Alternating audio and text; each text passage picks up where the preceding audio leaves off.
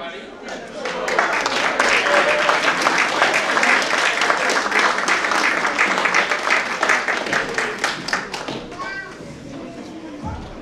Wow. This is totally fire okay. Sorry for the bumbled introduction, guys. Welcome to the Goonies panel. Hey. We have two absolute legends here today. The iconic Kerri Green and the amazing Sean Astin. Thank you so much for being here, you guys. This is an absolute honor for me. Um, I'm going to ask a couple questions to kick things off. Uh, as soon as you guys warm up and I see hands going up, I'll start uh, calling them out there. Um, just kick it off. Um, Look at all the notes he has. Are those notes for us? uh, these are notes for you guys. That's a lot of, no questions. He should be able to, he really prepared for this. I wanted to do enough homework here that, you know, I would be like some sort of honorary, you know, second-rate Goonie or something, but, know, so. No, no, we're gonna be all right. We're gonna be all We're gonna be right. all right. It's gonna be great.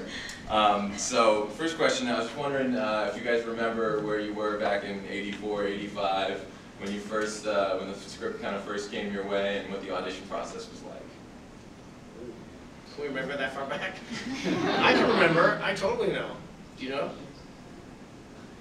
I remember, I think I had three, um, three auditions. And the first one was the casting director, and the second one was Steven. And then the third one was Richard Donner, all in New York. You were, sorry. And, um, and I remember, um, in the, au- in the audition with Dick, with Richard Donner, I was sitting on a couch, so I took off my shoes because the, you know, the character was sitting a certain way. And then when the audition, when I finished reading, my shoes were gone.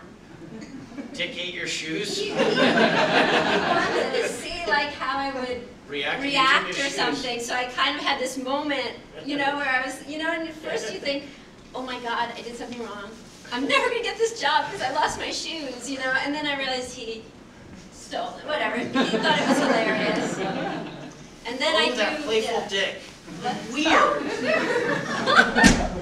He's weird. He didn't hide anything from me when I auditioned. Yeah. Actually, he helped. uh, He he.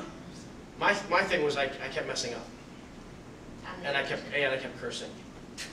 I did because we were cursors out there in the West Coast. But uh, Yeah, uh, you guys were. we were cursors. That's all we. It's my it's my mother's fault. My late mother, rest in peace. She cursed all when we were children and sets us off in a certain direction. uh, yeah. So, but Dick or Steven walked out. Because of how many. Because, well, I stopped. I said, oh, you know, whatever, I messed up, and he got up and left. And I was like, oh, well, I'll never work in as a professional actor again. And then uh, Dick came around, and he got down on one knee, and he looked at me, and he's like, all right. And he really talked to me, and he talked me through it. He said, this is what I want you to do. And I honestly don't remember anything he said. I don't think I heard a word of what he said while he was saying it to me. Uh, but then I went and I did the scene, messed up again in the same spot, cursed again in the same way, and they said, okay, great. And uh, I, I was sure that I didn't, you know, I was like, well, it would be foolish to hire somebody who doesn't know how to do the lines. uh, but I got, uh, I got the offer, so no one hid my shoes.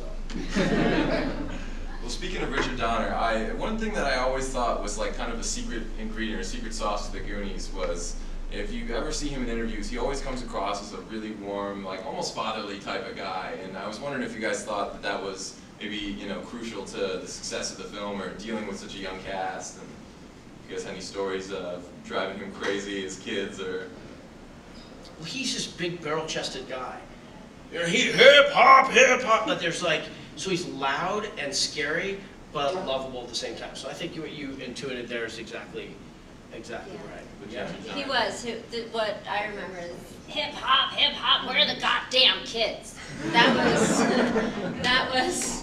It was kind Jeff, of the refreshing, Fatherly, the right? grandfather. Right, yeah, and and he- he did. Um, he kind of engendered that chaos.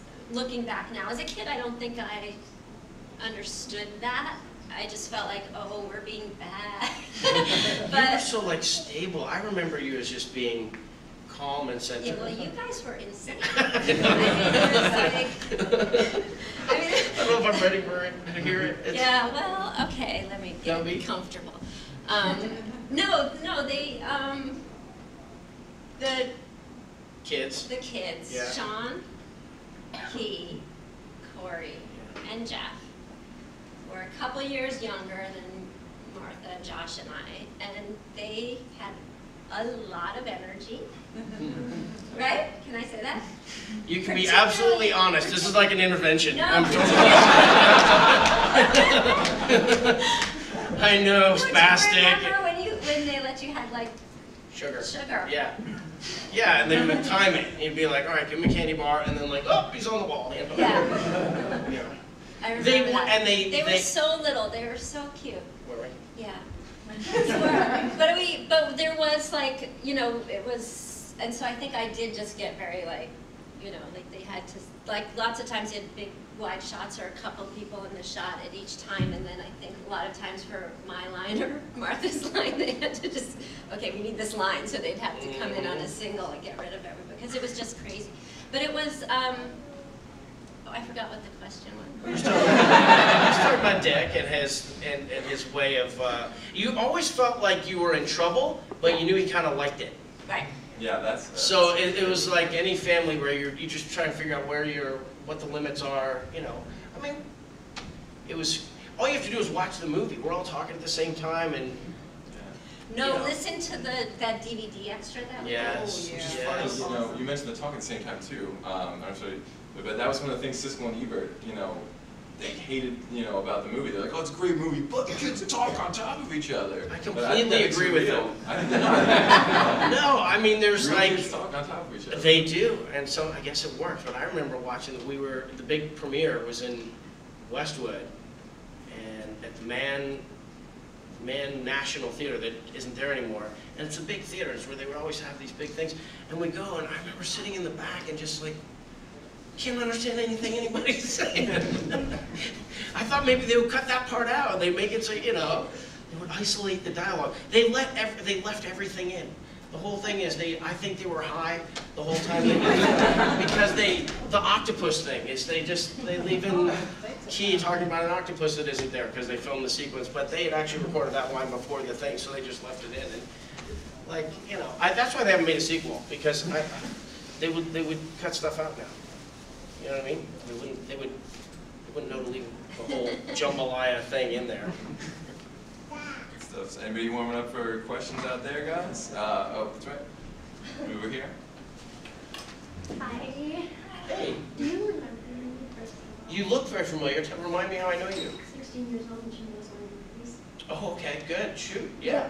My press agent, everybody. Um, I have two questions if that's okay.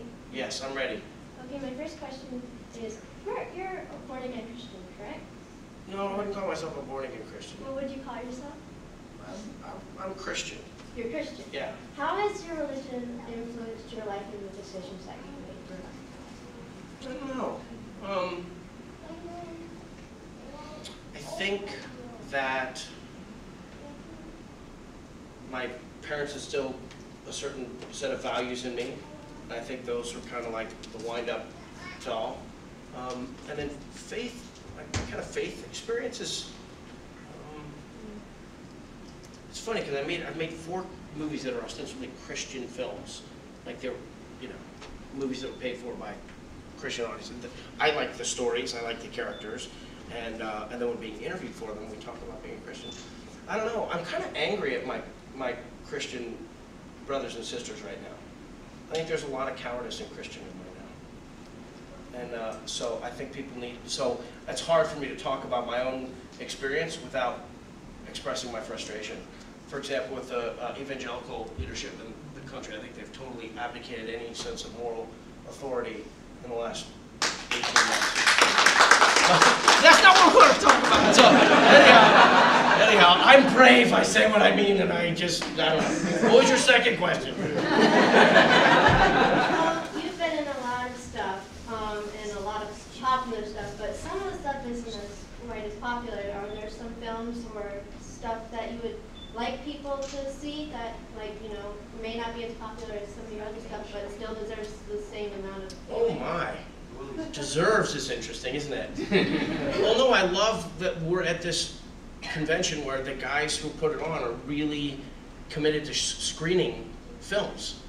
Most conventions don't do that. It's like the, the amount of time, energy, and money it kind of takes away from other things. But these guys are kind of purists. So, what deserves people's attention? I don't know. I try and love what I'm doing while I'm doing it.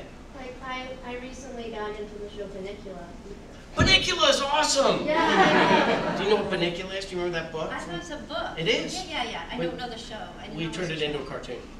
I don't think we ruined it. when is season two coming out? We we're just about finished doing it anytime. Yes, I'm so Anytime. excited. Yeah. I play Chester. Oh, Chester's the cat. Oh, Okay. All the characters, the animated characters I do, I have like one line that's the hook that reminds me of what I'm supposed to sound like. And for Chester, it's loud. It's the night of the living invasion! it's kind of loud. Have you done any animated stuff yet? It's like that, only quieter for most people. Thank you for your questions. Thank yes. for talking. Uh, the Color of Magic is another one that I love doing. Yes. You like that one? There you go. Okay. I have. Terry Pratchett, the wonderful English author who passed away a couple years ago, was a friend, love him to death. He wrote 17 books in the Discworld series, and uh, the first one is called The Color of Magic, and I played Twoflower. And Twoflowers, is the tourist. He's the first tourist to the Discworld. And he has a picture box. If he wants to take your picture, he rotates the lever, and inside a little imp is drawing quickly. I need more cyan! I'm like, yeah. Thank. Questions out there?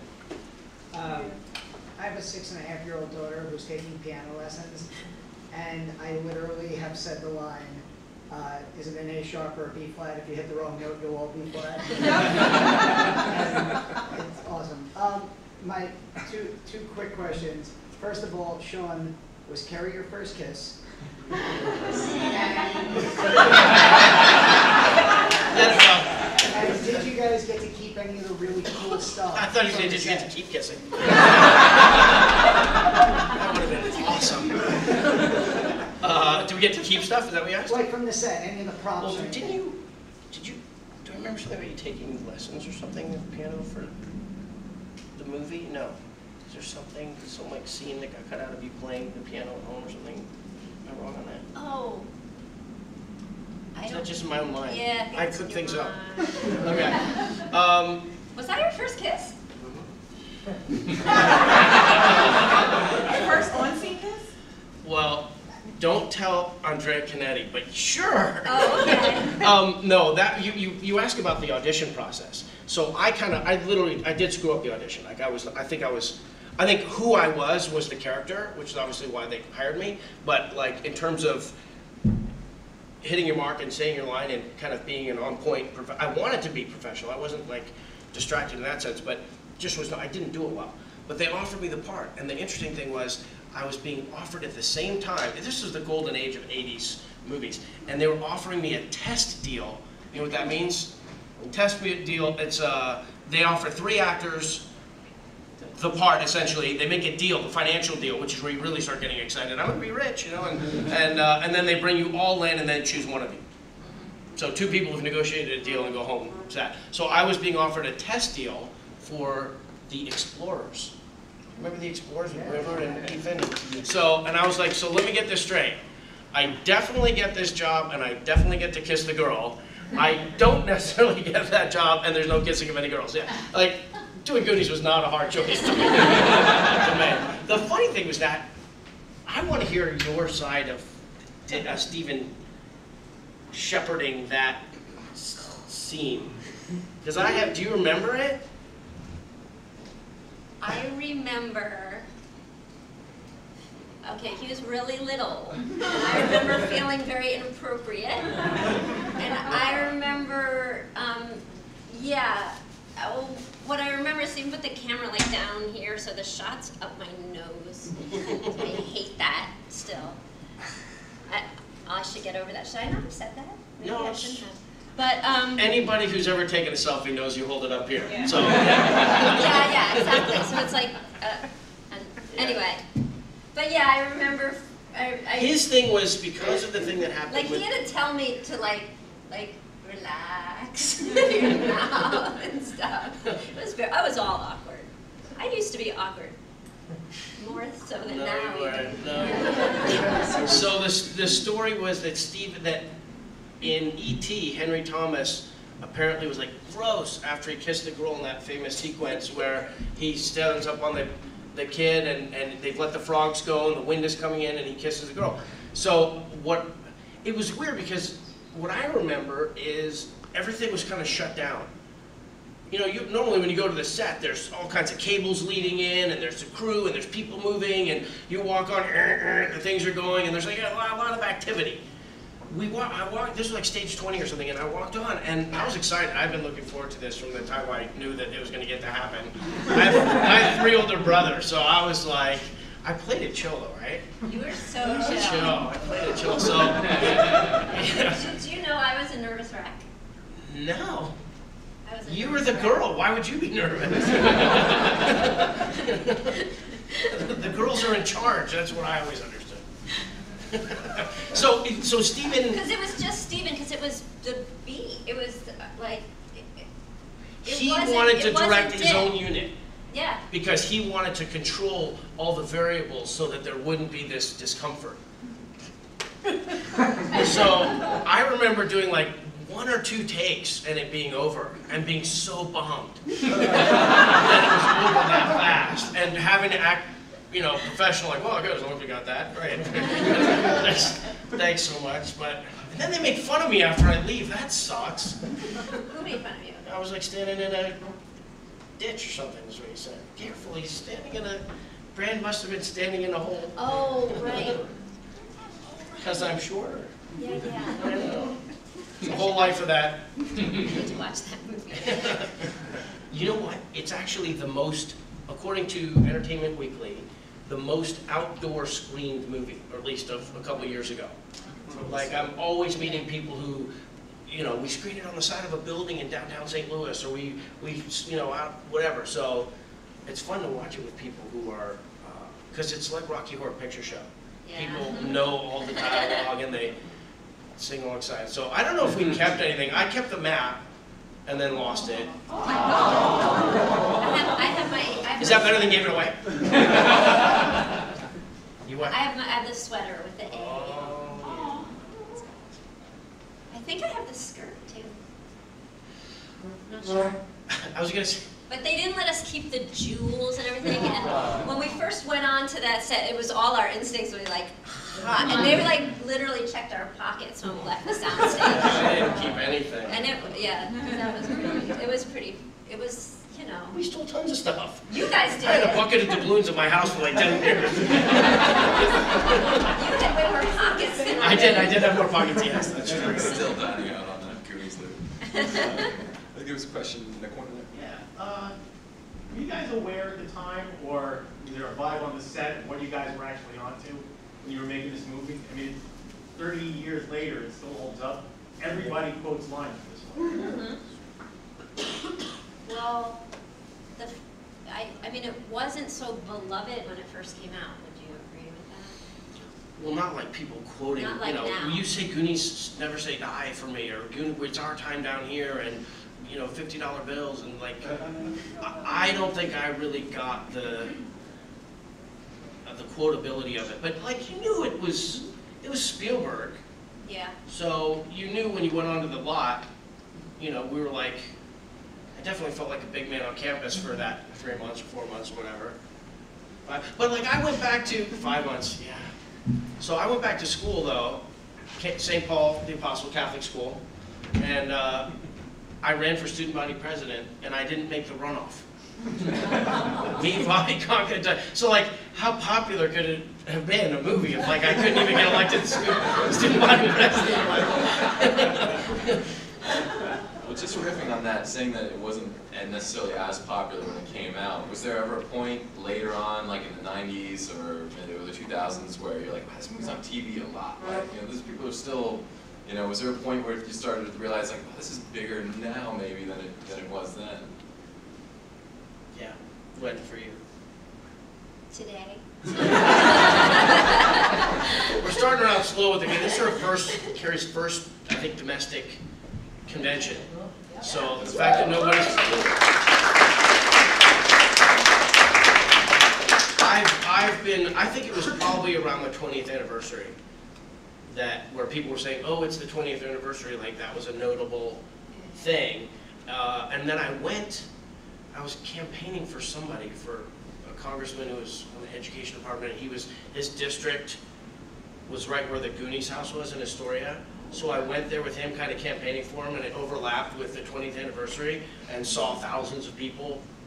Like, jeez, it was kind of a thing. And uh, I think that's the first time that I realized that it was going, that really, I mean, right now, these Goonie shirts are ubiquitous. I mean, you can go through the airport and see people wearing Goonie shirts. You know, that was- certainly wasn't like that for the first decade or more. Uh-huh. I'd say it's mostly in the last, like, 10 years. Well, you know, it's interesting because you guys opened in the summer of '85, and you could easily make a case for that year or that summer being like the greatest summer in the history of film.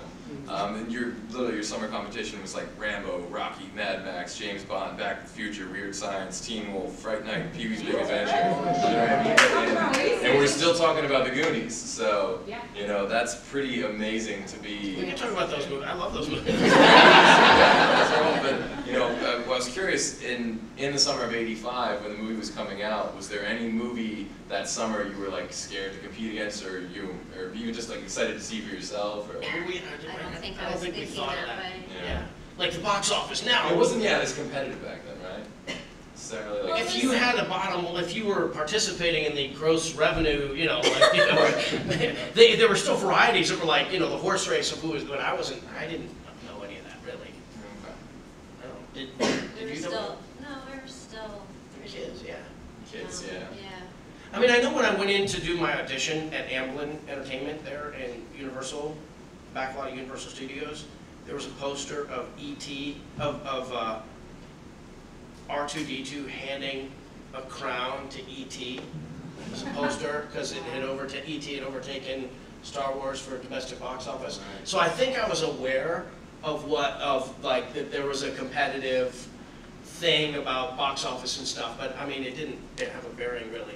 It's not like now where, da na na na na na, Goonies coming out against, you know. Well, now too, they always find a way to like, oh, it's the number one film opening in the third week of November on a holiday uh, uh, with a major snowstorm coming. You know, they always find a way to say we're the number one this or the number one that. You know, but um, Talk shows, that's how I knew that it was a big deal. yeah. Did you do any of the talk shows around then? I remember I did one of the talk shows and I, and I was on, there was another, there's another kid, another guy doing a movie, it had a robot. Can't remember the name of the robot, but, do you remember the one? Johnny Five? No, Oh, uh, no, like nineteen eighty-five studio movie about a kid and a robot. Not the one with Joe Deadly Friend, the Wes No, it was like three thousand something, four thousand, whatever it was. We were on this talk show together. And there was something about like which one of us was gonna talk first, connoted which movie was like. I remember that was like, so, that somebody kind of, that's where the thought that maybe there was competition uh, in, in movie space, but that really was not our, not our scene. We were, it- we were a big, like Partridge Family bus going through the movie business. That's awesome. Uh, I guess questions. First, I want to say thank you, you know, I've seen the movie millions of times. I'm actually watching, my nephew's watching now, and, um, I actually still have the program from the actual theater when it first came out. I was like six years old, I actually still have it. That's from a land where they handed out programs for movies. Right. Awesome. My question is, um, if there is a Goonies, or if there ever is a Goonies two, where would you guys like to see the movie pick up from? I'm sure you, have you answered this question many times? No, I mean, the, what, yeah, would you be part of the sequel, basically? Oh, would I be Yeah. part of it? Yeah, but he's saying, where would the Where would it sequel pick up? If there is, would you- where would you like to see pick up from? Well, I think the only way we could be in it, it would be if we were the next generation Goonies parents, I think so. which would be cute. I But thought for the longest time. I we did. think, I actually think we should do it now, like as old people. Put the sweater back on and stuff. We just have to stop and take Advil once in a while. That would be good, that's a good idea, you should suggest that. What did you think, what are your thoughts? Well. Corey and I, we, and people have been asking this question of me forever. And actually, actually, Steven Spielberg sent me a poster a couple years after the movie. One of the, the, the, one where the map is cut out, and it's the silhouette of the Goonies on the side of the hill. And he had written big across the whole poster, Sean, I'm still a Goonie, how about you, Steven? So the first time I ever, you know, conceived of the thought of a, of a sequel is, you know, every movie you ever do, there's always like, oh, it should be a sequel. Um, you know, it's Titanic, you can't do a it goes down, not coming back. Um, but, uh, but was, was through Steven, so, and when I talked to him on the phone, like sometime that year, it had to have been in eighty-seven, he said, well, he was gonna wait till Henry Thomas was in his seventies to do a sequel to E.T.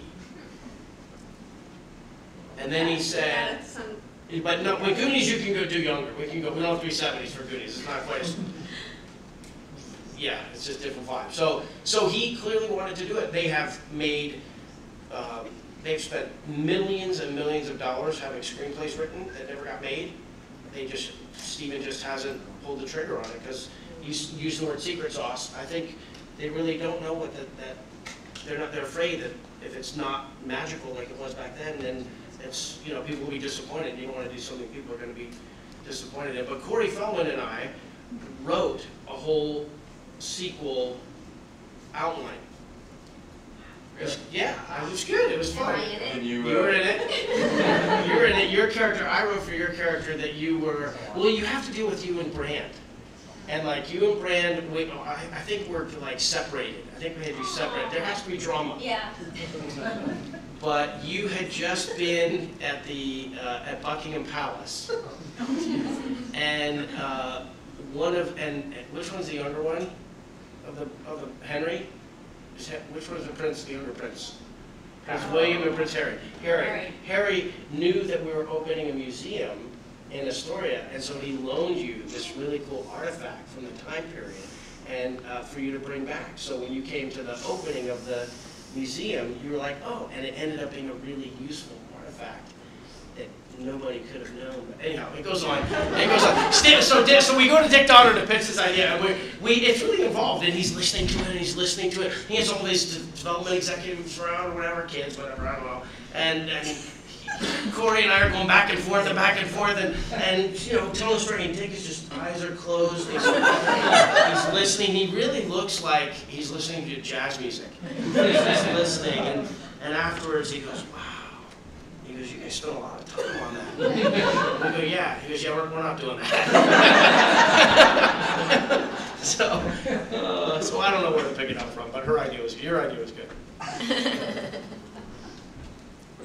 I'll tell, I'll tell. The artifact that, sh- that, whatever the prince was, no, listen, you're like, so we're opening the museum, and the museum is where the old cave room, where the, where the pirate ship was. It's empty now, right? So there's a little lookout desk. And we realize, and I real, Mikey realizes that this gift that he's giving you is actually the key to a puzzle. So we go back into the cave room at the bottom of where the thing is. Like you walk, the, the, the, the water slide is like this, and you kind of walk down through the water slide with the, with the, you know, there's little descriptions about things. And we take this thing and we put it in, and when you turn the lights out, it creates, you see the stars all in the cave room, and we put the little jewel in that you brought from the thing, it shows a map on the ceiling to, This is so good. right? How It cool is was good, it was Yeah, good. that's really That's good. more than I've ever told, but it's only because Yeah. Kerri's here and I, it's fun. So, yeah. When are you guys making that movie? Make it happen.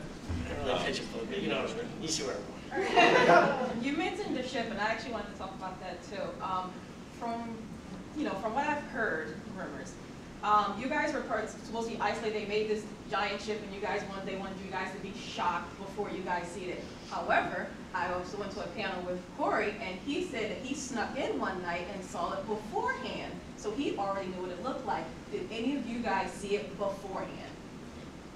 How did he get in before? It's Corey. It's Corey. I don't he wrote a vampire in. I don't know. I don't know. Corey, did you? Had you seen it? No. You hadn't seen it? No. Did you follow the rules? I was a good You're a rule follower. So were you, Um, I mean, go ahead, I, I can't. Well, wait what I, what I remember, actually, I didn't remember this. My mother remembered this. Tell me if you remember this. That they brought us all in. None of us, I guess, except Corey, had seen it before. and they, like, kind of. Did you? Had you seen it? I You had snuck seen, in. I, You well. did. You really did. I did not. However, who else saw, snuck in? Everyone but me. No, no, I don't know about everybody else. I know that uh, I didn't sneak in. I walked by when the door was open. I kind of like wandering around the lot, and I walked by when it was open, but it wasn't that close to being finished. So I did, it didn't look. The finished version didn't look Okay. anything like what I had seen. But you know, this whole concept of we're going to get the kids genuine reactions because they can't act well enough to look surprised to see the, the ship. Well, Like we, and they had, you know, it wasn't like digital age where you could have 15 cameras all over the place. Every camera had like three people that operated it, and, the, and you know, if one of the mags jammed, that was a thing. And so they had these like pontoon things or whatever, these like these scaffolds in the middle of the water where we did it. But go ahead. So what, what did your mom do? What she said was, so they brought us in, like, kind of, were we blindfolded? I don't know. Yeah, back it. They backed us They in. backed us in, and they wanted us to get under the water, like, okay, well, whatever. They gave us like a certain count, go under the water, and after a count to three or something like that, and then come up and see it for the first time. So we did that, but you know how earlier we were talking about all the cursing and stuff? Everyone was like, and all their expression, everything they said was unusable in the film because of the language, and so then we had to do it again. So what you saw was acting, as opposed to a real thing. Uh, That's what. That's what I, Does that for I, the cursing thing I think is just a steady state hit for me, but like we actually there's cursing that's left in the There's movie, a lot of improv, which ends up being a lot of Yeah. curse words. which is unnecessary. Like if I would go back, I would not curse as much. There's a couple of things where I curse and you're like, that kid's cursing because a grown up let him, and it's on. I don't know, I don't like it, but um, it just seems fake. But the which is weird because the reason they left I it in is because why it's still a big hit. I think that's right. I do. I think that's true. Um, not just, yeah, the dynamic about, yeah. But we, uh, you know, I- to me, it was like, okay, we're gonna have our reaction for the first time. I, it seemed stupid and insulting to me. But you're not gonna say anything because you're happy to be at the party. And we, we, they, they, they backed us in to this thing, and I remember, uh, we- it was a long time. We were standing there, I remember, it seemed to me like a long time. It was, it seemed like 10, 15 minutes when, you know, there's a pirate ship behind you that you're not allowed to see. Every second feels like a month, you know? Yeah. So, uh, and I don't know that the ship ever looked as good as it did on that, with that moment, because they had it all lit with the different water things, and sometimes if you're not gonna see the back, you don't have to do water over there, but they had it all kind of going at the same time. And I just felt like a kid who had already seen the Christmas present, who had to act surprised so the parents felt good about the Christmas present. You know, like, oh, that's really, Well, it makes you self-conscious about your original response. So like you're under the water and kind of saying, okay, I've got to look really like how how do I actually look? I don't. it was a weird combination of being authentic and acting and self-conscious and Yeah, like you were right. hoping to give them what they wanted and does this look good enough? But it means, it means something that they, that they had an idea. Like, it's one thing to, like, you know, you build a set and you go in and you're doing dialogue and so the whole concept of the film is happening. But the idea that we're gonna capture reactions from performers in this unique way, like you wouldn't do it, like, would you shoot a horror movie like that? We're gonna, you know, the, the Like corpses. would- actually kill. Yeah. Careful, these people are, a horror. Know your audience? Maybe you do. Um, I don't know, yeah, I, I thought that was a strange thing that they, that they tried to do, but it's made for a story for all these years. Yeah. Yeah, yeah, that's, I, we, you need to get, um, Martha, she'll be the, Oh yeah. she'll she be the deciding vote on what, yeah, and she would have, like, if she would have seen it and thought they were full of it, I, I believe it if she said it. Um, yeah. It was a special set. People came from all over the known filmmaking world to take in that set. Um, I think the set that had been on it right before it was the Ghostbusters set, speaking of great. That sounds The. Zuul, you know, the, Another movie you competed against, it was re-released in the summer of '85. you're talking competing, Well, I mean, you know, I'm just saying, you know, when you go up against movies like that, and 30 years later, you you're still talking go up about against? your movie. He's trapped. Are you a journalist? Are you? I'm working some negative angle. No, no, no. It's you're just this. You're of this moment in time where everything's about competing. Sometimes the thing itself is what's cool. And the, I, the, the Goonies is a time capsule. Yes. It's a time capsule movie, and then like the whole concept of the, the map and the everything. It's it's it's uh, Time capsule. it's beyond your your Hollywood competition rates. Very true. Very true. Uh, we had a question in the back. Uh, I actually have a kind of piggyback question what you guys just talked about with the, uh, keeping some cuss words in, some not. Um, I showed my friend Goonies at, he was like eighteen years old, wasn't ever seen it. Um, I showed him it and the. He's American. He is, yeah, Okay. yeah. The hardest he laughed was when, uh, Jeff is watching the car chase, he's got the milkshake, and he goes up against the wall and squirts on him. He didn't laugh at that, he laughed at him going, oh, shit. Uh, And I just wondered, you guys know that that was one of those that was ad-libbed? I mean, he was Every erratically laughing. single curse was ad-libbed. There was not a curse in the script. Not a one, yeah.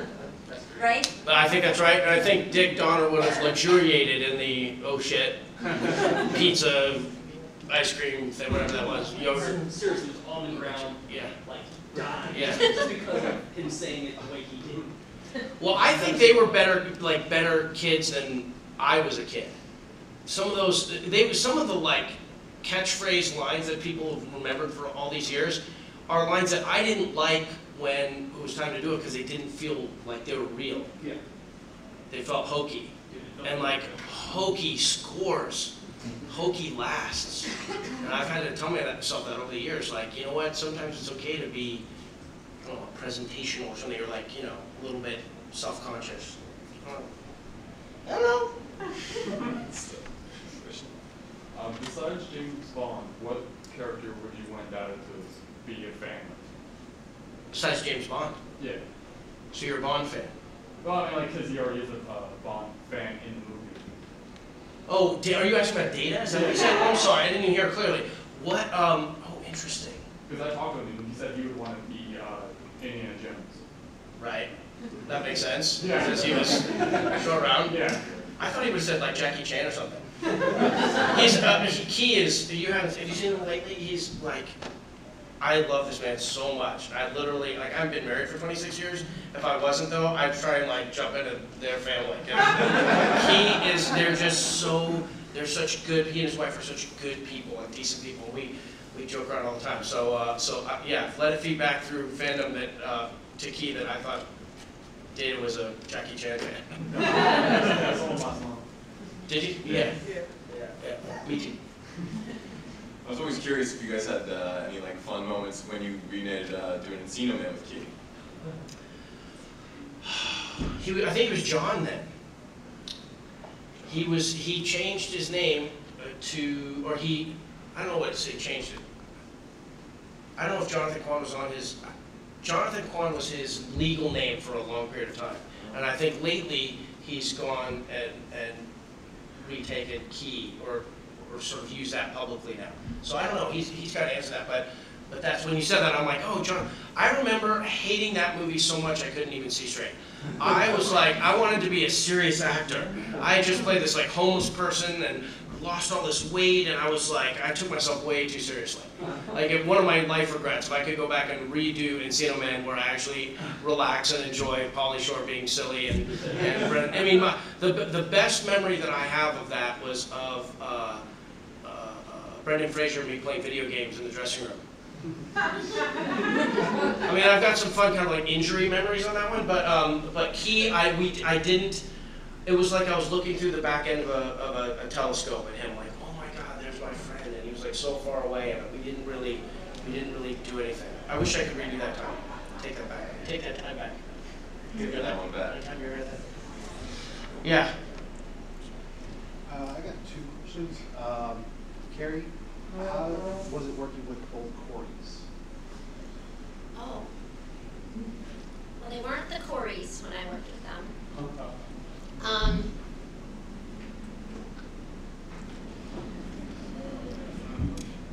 um, so, so in, on the Goonies, the boys were kind of like a big whole group, I would say. And with, with on Lucas, uh-huh. Corey and I worked a lot, just the two of us.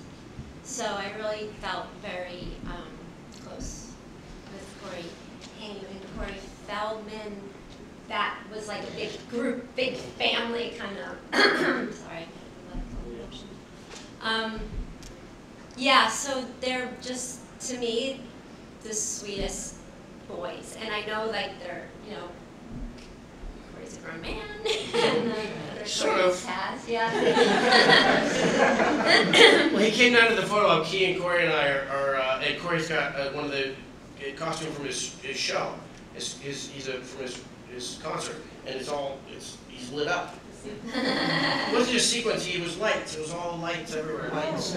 Yeah, and he was like, Corey, what are you doing? And then we took the picture, and they looked kind of good. But, yeah. but go on. Sorry. I don't know. Yeah, so I mean, they're they were. Um, when, when I was in college, once in a while I'd get a call from both of them, you know, but it was um, When they were becoming the Coreys. when they were becoming. Like the height of Corey Mania. Yeah, I had kind of tucked myself away out of the out of that world for a while, but um, you know, I never worked with them to, together. So to me, they're just two very separate people and very, um, you know, just s- both both incredibly dear people. The other question was, uh, do you have any funny moments or stories about, that you remember, moments that stand out the most, think- thinking back anytime somebody says Goonie? There's so many. One. Well, I mean, there's just like, I mean, so much of it was just like Michael Jackson came to the set, or we were at Dodger Stadium, or they flew us to Hawaii to play a joke on Dick Donner. Like, there's just so much. It was, it was like you said, like a, a high There's a heightened period for sure. heightened yeah. period when there was there was uh, money for jokes, or you know, Nice. right? Yes. Like, it- Money af- for after the '80s, that didn't happen, but they flew us to Hawaii to play a joke on Dick Donner because he was sick of us and he was going to Hawaii, and we were there waiting for him, like just for a joke. They do not do that stuff anymore, but yeah. Flight to Hawaii is not cheap. So like that kind, like there's just a lot. That story goes, the first time we'd heard uh, the Cyndi Lauper song was there, right? Yeah, Didn't they play it yeah. was there? And like, um, uh, Anne Ramsey, was Anne, Anne Ramsey was there, right? And all, and, and the Fratellis. And, and, and they, they were, they delayed their kind of entrance to the party till after Dick had calmed down from seeing us like take over the, we like took over the house. We turned everything over and we, would- and, uh, and then all of a sudden he looks, it's in Maui at his beach house, and he looks out towards the beach and just like in the Goonies, up come the Fratellis from the thing. I thought Dick was gonna have, his head was gonna explode. You know, he, all he could say through the whole show was, I can't wait to get away from you brat kids and get to Maui, you know? And, uh, yeah. You know, some, some people send gift baskets, I guess, but like Steven sent the whole, all the Goonies. Yeah, Yeah. yeah. I think of, I think of Sloth. To me, the, the Goonies go from being a group of kids to being something bigger than that when that you bring the, the, that character into it. And John Matuszak, the late great John Matuszak, was, um, you know, a killer with a heart of gold. And, uh, you know, watching him suffer through that makeup, like, I don't even, I don't even know how he did that makeup. It was ridiculous. But with, with his sound, hey, you got, like, that kind of thing, makes all of a sudden, I don't know, just everything sets up. Everything kind of becomes something more than the sum of its parts when, when he gets into it. So when you say Goonies, to me, you kind of think him. I got a question for uh, Sean. Um, I'm like a big fan of uh, war films. What was it like making a Memphis Belle? Memphis Belle was incredible. You know Memphis Belle, the World War II movie, uh, air movie, B-17 bomber? Um, hate to break, well, I don't hate to, but it, you can't help but think about it today with what's going on in, uh, in, in the Korean Peninsula and Amer, you know, our country has this fascinating history with air supremacy in, in, uh, in wars for the last, you know, since airplanes started, you know, since the biplane era. Um, It's amazing that there's a whole world that lives at twenty thousand feet. You know, you can, I don't know how to capture this, but it- we would fly in formation, we'd actually go up in these B-17 bombers, and you would see Eric Stoltz and Matthew Modine and D.B. Sweeney and Harry Connick Jr. and all those guys, like, in the plane right next to you. Like, right, like, as far as we are. You're like, hey, good to see you, right? And then we kind of, we- the, the planes would turn like that, and firing those 50 caliber machine guns, and doing the research for the, the character, they sent us all this information about the Second World War, and it was a pretty great, it was David Puttnam, David Puttnam was the, uh, who, who produced, uh, The Killing Fields and Chariots of Fire, and, um, uh, what's the one about with Robert, De Niro? Um, Anyhow, it felt like being a part of something important, and shooting at Pinewood Studios, which is, talking about James Bond, uh, they filmed there, so we were like on the Bond sets and stuff, and that was all pretty, pretty Was that like real loud and everything going around? Oh, yeah. Yeah. Well, the ball turret, you know the ball turret is? It's a little thing underneath the B-17 bomber that is, it's like a, it's a rotating ball. Yeah, you have 250 caliber machine guns, and it's to guard the bottom, the underside of the plane. And uh, those guns are massive guns, and there's two of them, and you're kind of like in this cradle position, and they're going off right next to you. Yeah, that was awesome. That's awesome. Yeah. Cool. Uh, one thing I wanted to ask, actually, because a second ago, you mentioned the Cyndi Lauper video. Um, thing I always wanted to ask Kerri is that of all the main cast members, you're the only one that's not in the music video. Yeah. Were you like already working on I Lucas, was or doing summer rental. are you doing summer rental? Oh, Another great summer you talked And we competed against them. That's a great movie. That's a great movie. Love John Candy. Um, so we have time for probably one more question, guys. We're not there. This is very nerve wracking, so I apologize if I stutter, but I wanted to ask how it was like seeing you got yourselves, like that first time seeing the Goonies, like to perform since it was one of your first movies. I can barely listen to myself talk in the video, so I was wondering how it was to see you guys up on the screen for the first time, like what it felt like. And are you still, do you still feel that way seeing yourselves in movies to this day?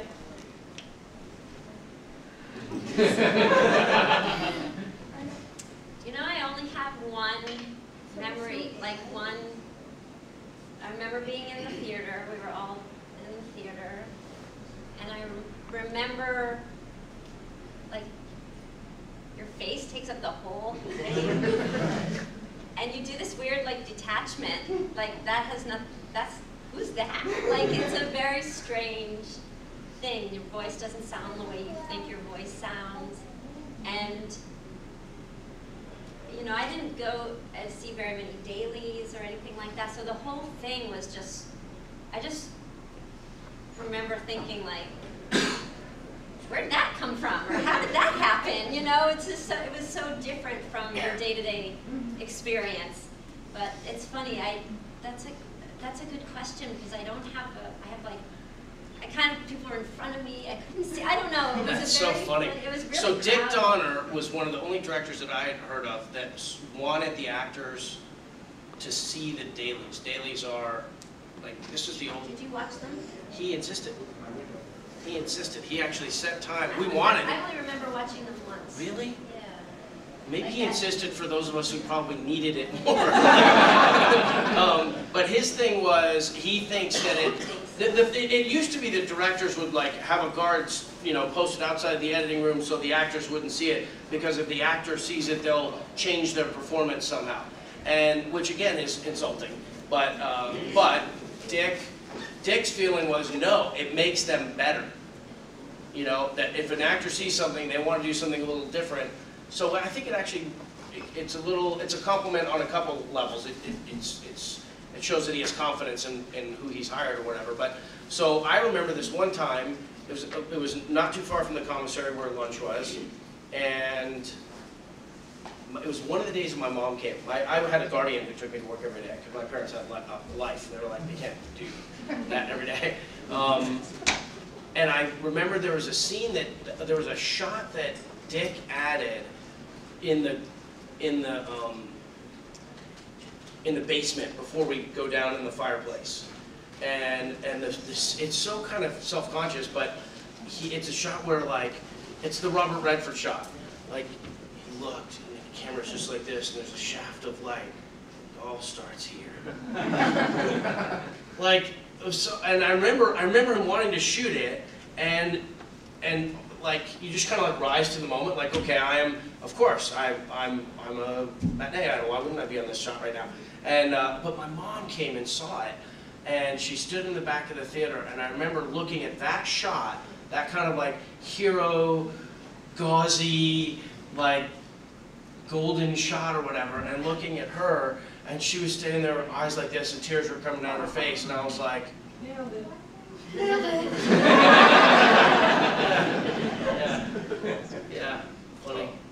Unfortunately, we're just about out of time, guys, so let's give them a round of applause.